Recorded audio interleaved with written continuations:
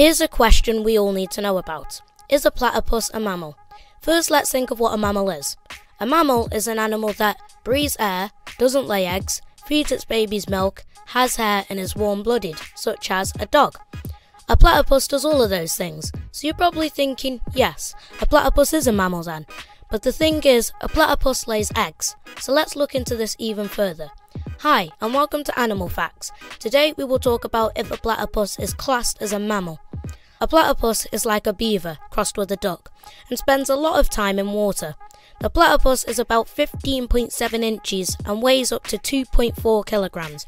It is warm blooded, which means it doesn't need a lot to keep it warm and is usually adapted to whatever the weather is like in an environment, just like humans. It also has hair to keep it warm, just like any other mammal.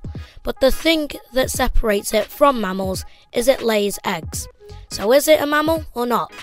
The answer is yes. The main thing that makes this a mammal is that it has a pouch to carry its young, just like a kangaroo.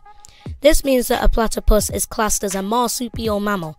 Other marsupials include kangaroos, wallabies, hedgehogs, bandicoots, possums, and Tasmanian devils. Platypuses eat shrimps and baby flies and other larvae. They can also only be found in freshwater lakes. Mammals that are also like the platypus is called an echidnas and steropodon. The first platypus was found in 1797 in Britain.